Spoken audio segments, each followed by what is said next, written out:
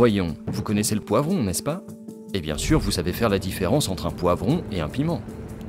Savez-vous qu'en réalité, au sein de la grande famille des solanacées, poivrons et piments appartiennent au même genre botanique? On l'appelle capsicum.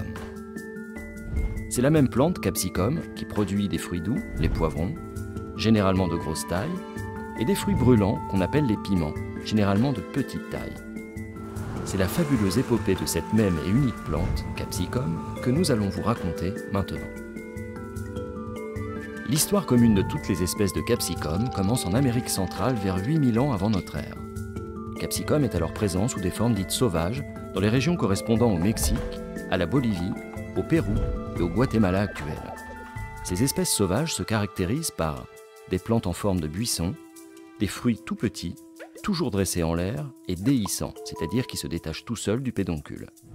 Aujourd'hui, on recense 22 espèces sauvages dans le monde. Capsicum est ensuite domestiqué, c'est-à-dire exploité et utilisé par l'homme simultanément en différents endroits par les peuples amérindiens entre 10 000 et 7 000 ans avant Jésus-Christ.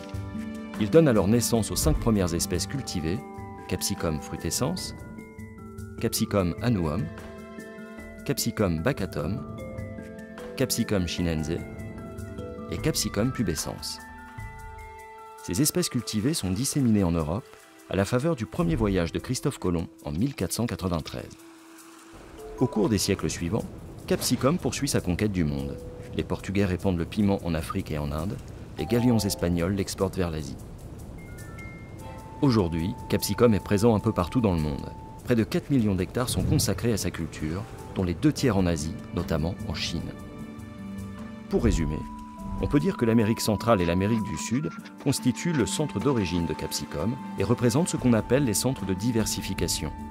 L'Asie et l'Afrique ont sans doute constitué des centres secondaires, le piment ayant suivi la route des épices.